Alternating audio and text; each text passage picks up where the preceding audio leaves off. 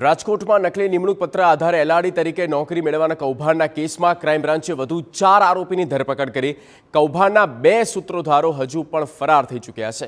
અને આ કૌભાંડ મામલે કુલ પચીસ આરોપીઓની અત્યાર સુધીમાં ધરપકડ કરવામાં આવી છે.